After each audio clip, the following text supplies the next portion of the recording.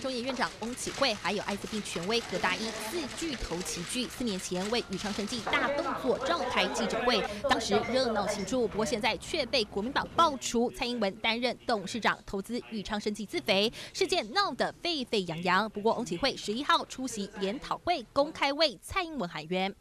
他表示，现在公开舆论对蔡英文不公平，不要连累无辜。而且当时蔡英文只是帮忙，资金到位就退出。不过对外界质疑国发基金投资豫昌生计根本是黑箱作业，否则为何列机密文件？翁启惠则表示，可能当时有其他公司在争取美国生计公司以商业机密要求资讯不公开。当时他知道之后也很压抑，认为国民党发动的舆论对蔡英文不公平。从未针对涉及政治议题对外发言的翁启惠，也罕见对外发表挺蔡英文言论。三立新闻刘品佳潘兆文台北采访报道。